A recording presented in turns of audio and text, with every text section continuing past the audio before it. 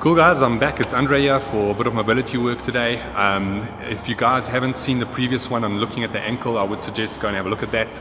Today we're going to handle a little bit upstream. We're going to look at the calf area. So if you've looked at the ankle, it will help you with this one a little bit more. But just going to touch on loosening up the calf a little bit and allowing us to get more ankle flexion. So the first one I'm going to look at is just a dorsiflexion drill. So you'll be surprised to see how much your ankles actually differ. So what you want, you want a wall or a pole or a rig to set up on. You start off and, and you push your knee and generally most people can easily push the knee into direction of their toe. You go through about five drills just warming up the ankle there, move a little further away, push into there, and as you go you'll feel it will stretch your calf more and more and more. And the idea is to obviously get as far back as possible. Don't neglect the other foot obviously.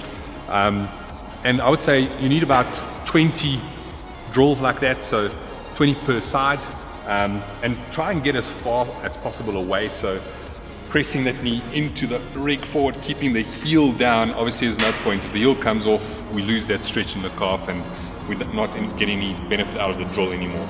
So that will be the first one, warms up the ankles really nicely. The second one we're going to go into is just squat sit. So having something to hold on to, get your feet into a squat stance.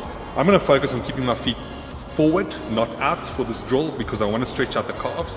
So I'm going to sit into a good squat, pressing the knees out. And not too worried about back spine position. My focus is working on the ankles, it's unloaded. So I'm going to pull myself over forward, pull myself into my right side, keep that ankle down, push the knee over, stretching out the calf, and swivel over to the other side and, and really get into, into, that, into a good stretch. And you can spend easily two to three minutes in this position, just working side to side.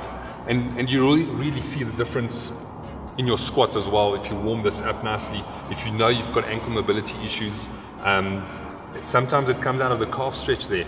And it's going to allow us to loosen that up and get into it nicely. After that, something that um, grabbing a band and just having a bit of a stretch. You can lie down.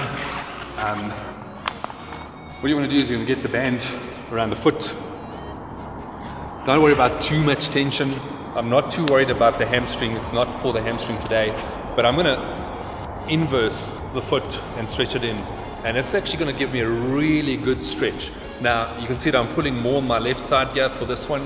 So I can really feel the stretch in the calf area there. And we can even roll the foot out, pull out, pull onto the other side, and really just get that ankle going there.